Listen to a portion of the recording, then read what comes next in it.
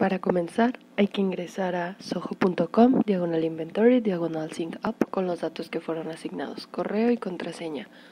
Al ingresar veremos un panel de administración donde estarán todos los grupos de artículos, así como las opciones de grupos de artículos, artículos, artículos compuestos o las listas de precios. Hay que hacer clic en nuevo artículo para crear el producto que vamos a vender. Vamos a seleccionar como tipo producto, el nombre de producto va a ser pruebas Gasling, Gas LP. Tenemos, si ustedes tienen el código de artículo SQ, SKU y ponemos la unidad de medida que sería el litro. Se puede agregar alguna imagen si ustedes lo prefieren.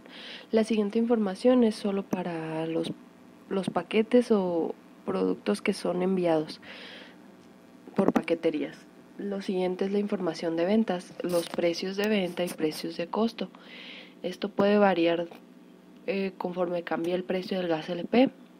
Asignamos a la cuenta de ventas y pues agregamos lo que es el impuesto del IVA del 10, 16%, activamos el seguimiento de inventario de ese artículo, creamos este su inventario, cuántos litros vamos a tener al inicio del día o el valor inicial con el que con el que los proveedores comienzan a vender. Hacemos clic en guardar. Hay que asegurarnos que el valor inicial de existencias y las existencias de apertura estén asignadas para poder continuar a guardar el artículo.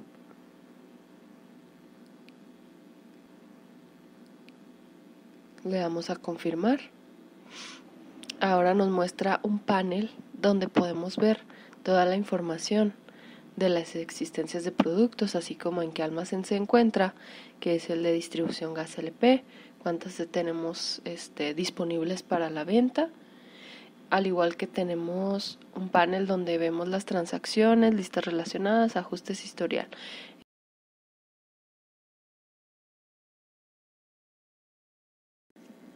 Ahora veremos lo que son los ajustes de inventario. Hacemos clic en el panel lateral en la sección de ajustes de inventario en, la categoría de artículos eh, los ajustes son más que nada si ustedes se equivocaron al, agregar el valor inicial, si el precio cambió. Por ejemplo, podemos tener el mismo artículo, pero ya cambió en un mes la cantidad de precio, el precio de venta. Podemos ajustar cuánto es lo que tenemos o por si hay alguna merma, si tenemos cualquier situación, aquí podemos especificar por qué se ajustó nuestro inventario. Como vemos, eh, podemos poner ajuste de cantidad o de valor. Valor significa el precio que traemos nosotros. Por ejemplo, aquí estamos haciendo una demostración de cómo se, debería, se podría hacer un ajuste de valor o de cantidad. Si, por ejemplo, nos equivocamos a teclear en vez de 100 litros teníamos 110, pues aquí podemos agregar los 10 o podemos reducir el valor de lo que tenemos. Tenemos que seleccionar la fecha en la que se hizo el ajuste y el, la cuenta de ya sea la cuenta de ventas, el motivo por el cual fue el ajuste, el nombre de almacén sería distribución de gas LP y la de una descripción corta de por qué razón fue el ajuste. Después de guardar los, los cambios, damos en convertir en ajustado y nos va a mostrar un panel, una ventana donde nosotros veremos la información de nuestro inventario.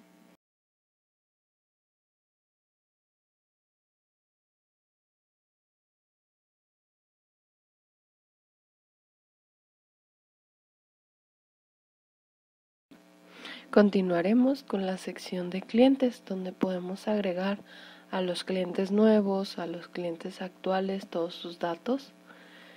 Eh, vamos a hacer clic en el botón que dice nuevo. Aquí nos desplegará un formulario donde podemos eh, asignar si es un tipo de cliente empresarial o es un individuo.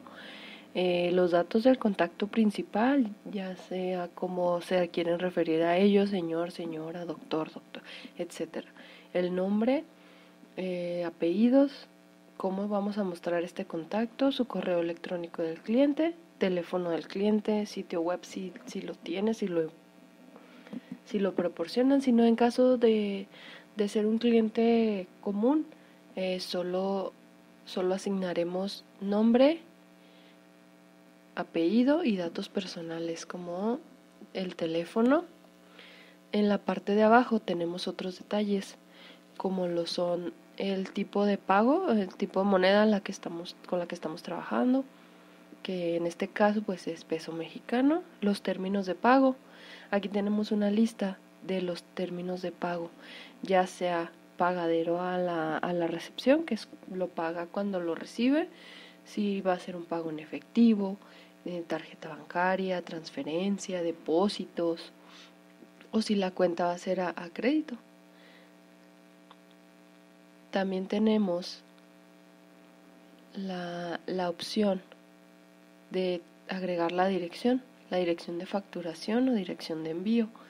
Esta puede ser, podemos ingresar la dirección de facturación y arriba tenemos una, un enlace que dice copiar la dirección de facturación, que sería la misma de envío.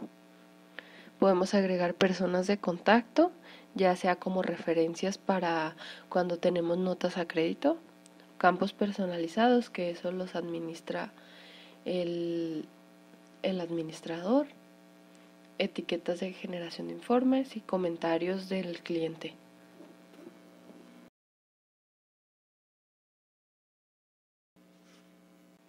Hacemos clic en guardar y se guardará el cliente en nuestra lista de contacto. Ahora veremos las facturas de anticipo. Estas facturas son cuando recibimos pagos antes de enviar el producto. Si seleccionamos lo que es el cliente, eh, datos generales como el número de la factura, la referencia, la fecha, la descripción de, del producto o por qué fue el pago, el importe total, algunas notas, agregamos los términos y condiciones. Eh, y eh, notificamos por correo que se ha recibido una factura de anticipo, ya sea para clientes o proveedores. Ahora pasaremos a las órdenes de venta.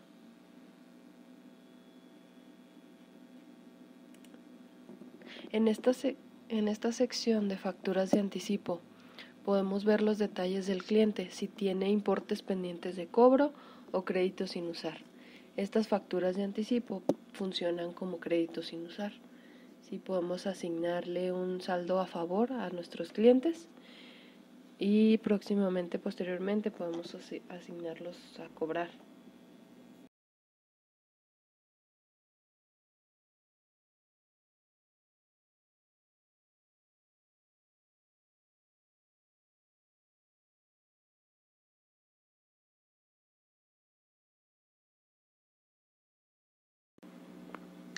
Al guardar nuestra factura de anticipo nos mandará a esta sección donde podemos ver una vista previa del, correo que le llegará a nuestro cliente por de su factura de anticipo con los siguientes datos. El nombre de la empresa, el número de anticipo, su saldo que tiene deuda, este, la cantidad por la que fue el anticipo.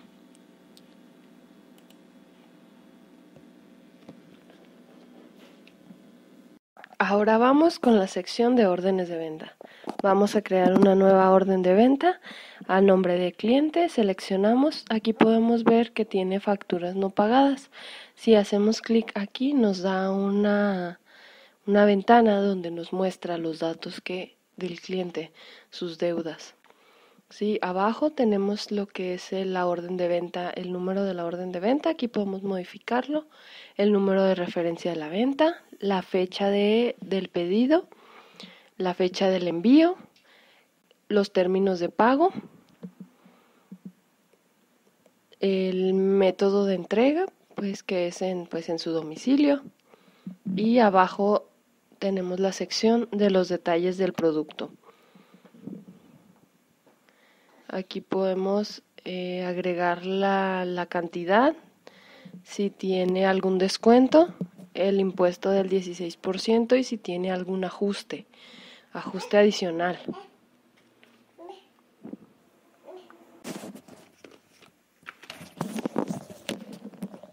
Hacemos clic en guardar y enviar para notificar al cliente que su pedido está siendo procesado y sus datos de pedido. Damos guardar y enviar, podemos guardar y confirmar o imprimir el pedido. En esta sección podemos ver los detalles de los pedidos. Tenemos en la primera sección un, botón que dice enviar orden de venta, que es para ya cuando el, vendedor está en camino. Sí, tenemos la opción de, del historial. Del historial de comentarios de actividad, cuando fue creada la nota las facturas que están ajustadas a esa nota de venta y pues una sección de las devoluciones, ya que en casos de que no logren finalizar el pedido por cualquier razón, tenemos la sección de devoluciones.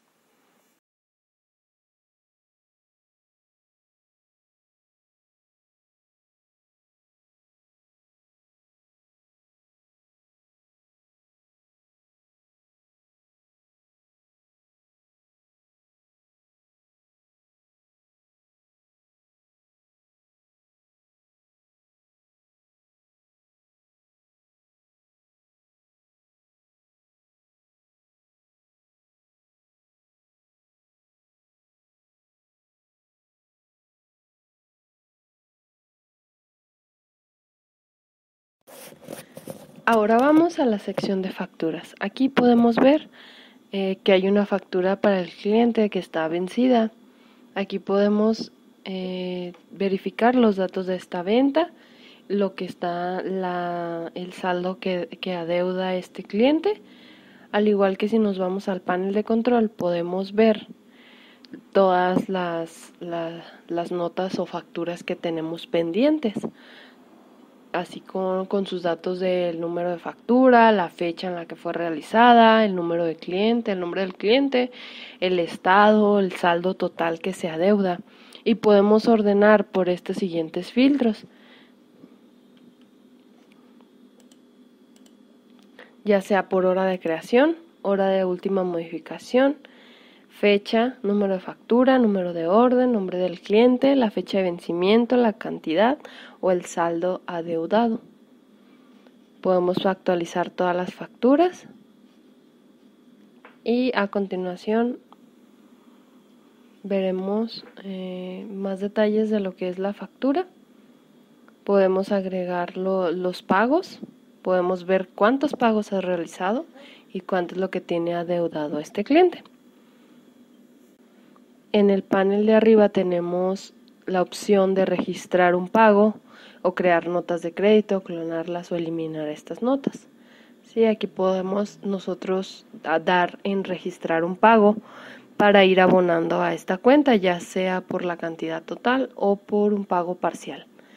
En esta sección de pagos recibidos es donde veremos eh, los, los importes que se han recibido, ya sean si quieren pagar todas las notas que están pendientes, si quieren abonar a notas o si quieren eh, ya sea especificar el método de pago. Sí, se puede hacer el depósito en efectivo, en retiro bancario, en tarjeta de crédito o una transferencia. Podemos saldar las notas o agregar un pago parcial. Y aquí en esta parte se selecciona el cliente selecciona la, ahí mismo abajo, podemos ver eh, cuánto es lo que debe ese cliente y si, y si queremos hacer el pago de la nota total. Hacemos clic en guardar para notificar al cliente que hemos recibido su pago. Y aquí en los detalles del cliente siempre podremos ver los importes pendientes de cobro y los créditos sin usar, que es lo que vimos de, de las facturas de anticipo. Contamos con la sección de devoluciones de ventas. Las devoluciones de ventas se aplican sobre las órdenes de venta. Aquí tenemos el panel para ir a las órdenes de venta. Seleccionamos nuestra factura que queremos realizar una devolución. Le damos clic en más y en la opción de más nos debe aparecer la opción de devoluciones y cancelaciones. Para poder hacer una devolución debemos de enviar la orden de venta y marcarla como enviada. Y ahora en el menú de, más hacemos clic en cancelar artículos y nos aparecerá un formulario para que seleccionemos. Hacemos clic en continuar, cantidad a cancelar, si es parcial o es completo.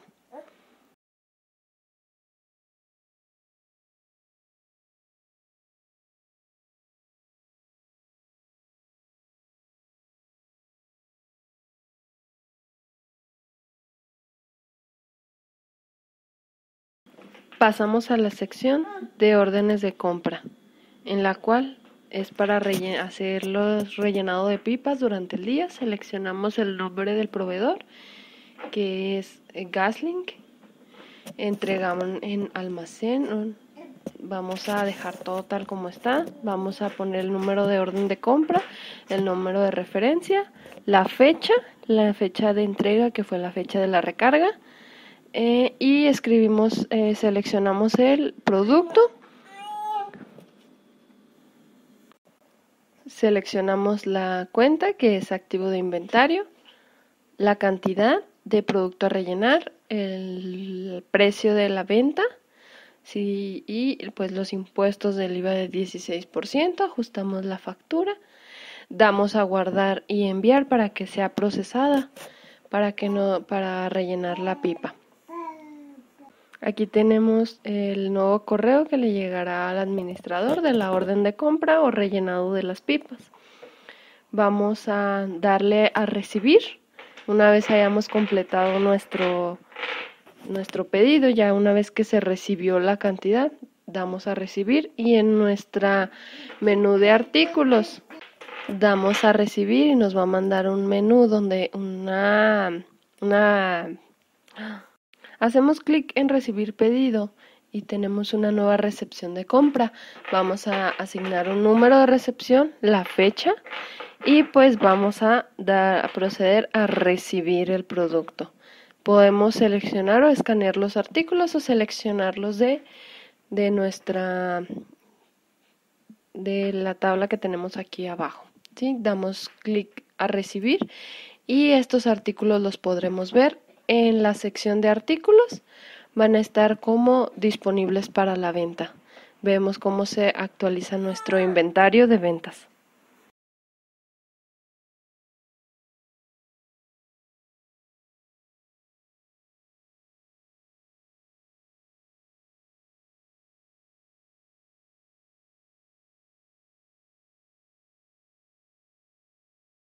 Tenemos la sección de informes donde podremos ver los informes de ventas, de inventario, de las cuentas por cobrar, de los pagos recibidos, de los reembolsos, de las compras, que son las recargas.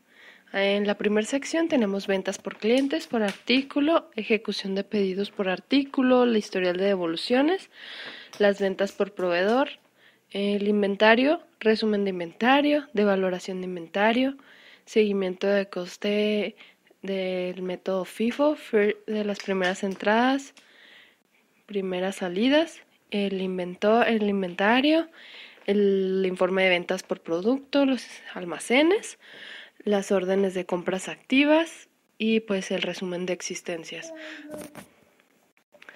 En las cuentas por cobrar podemos ver los saldos de clientes, detalles de factura, detalles de facturas de anticipo, las órdenes de venta.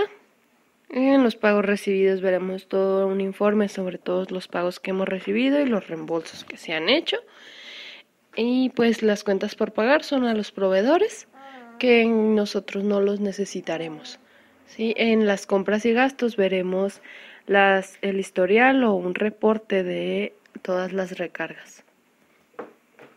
Y con esto finalizamos lo que es el software de Soho Inventory para la administración y ventas de gas LP para las unidades o pipas. Gracias.